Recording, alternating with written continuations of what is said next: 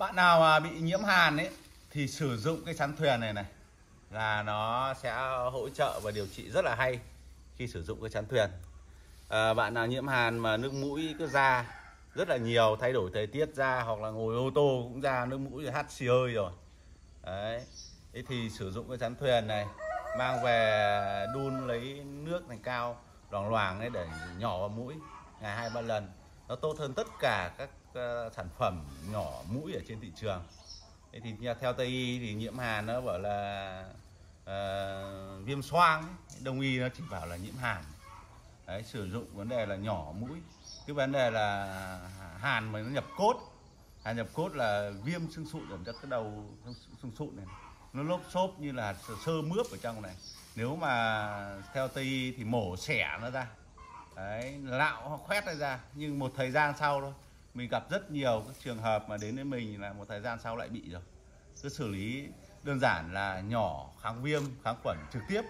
Ngày xưa ấy thì uh, uh, bộ đội chống mỹ hay là bộ đội uh, uh, đánh nhau ấy là không có những cái thực phẩm mà rửa chữa sửa về vết thương ấy. thì lấy cái lá chắn thuyền đun đặc Đấy, đun đặc để rửa vết thương làm vết thương rất là nhanh liền và trong cái dây chắn thuyền này nó có một cái thành phần là kích ứng mọc da non kháng viêm kháng khuẩn rất tốt. Ngoài ra cái sử dụng cái rắn thuyền này này ý thì uh, uh, sử dụng thức ăn hàng ngày ví dụ như là nấu nấu canh cá. Canh cá thì uh, mỗi một vùng miền có một cách sử dụng khác nhau. Nhưng uh, đối với mình ý thì có thể là lấy cái rắn thuyền toàn bộ lá như thế này xong là mang đi um, uh, phơi khô sấy khô và nghiền nghiền nó ra để làm gia vị. Thứ nhất là để nướng cá thứ hai là hầm cá. Đấy. Thế còn uh, một vấn đề nữa là những ai mà nhiễm hàn và đại tiện lỏng nát thì có thể dùng dụng cái chắn thuyền này. Toàn bộ cành dính lá như thế này mang một băm phơi khô sấy khô. Đấy đại tiện lỏng nát thì dùng uống một nắm là nhỏ này là êm ngay.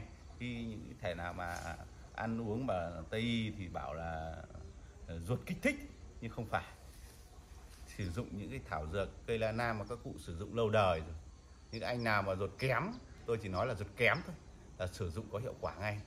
Nghĩa là như ăn gỏi cá mà không có những người mà bụng dạ bình thường mà không có lá là là sắn thuyền này này đây là cũng đại tiện lỏng nát ngay.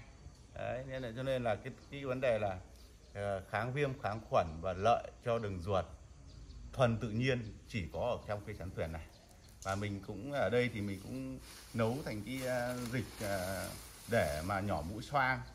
À, viêm mũi dị ứng đây gọi là viêm mũi dị ứng nhưng đông y gọi là viêm đông y gọi là nhiễm hàn.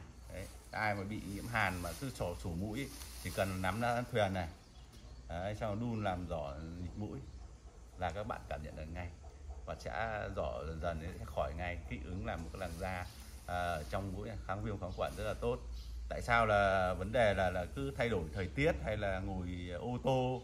Đấy, ngồi ô tô lạnh là hắt xì hơi ngay, thay đổi thời tiết cũng sụt sùi ngay.